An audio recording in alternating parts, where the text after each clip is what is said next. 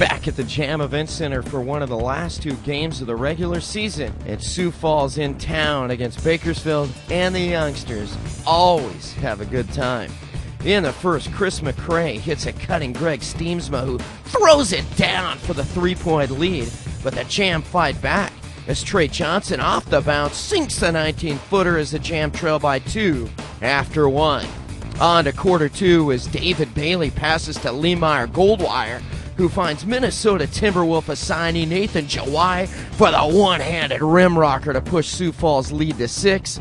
But Brian Butch comes back with a fake and a flush at the half. Skyforce leads by 12. On to quarter three we go as the Skyforce's Chris McCray gets a steal and locates Kirk Penny for five of his six triples to push Sioux Falls' lead to 16, and more from Penny, who receives the dish from David Bailey and dials up three more, two of a single game high 40. Sioux Falls with a 12 point lead after three.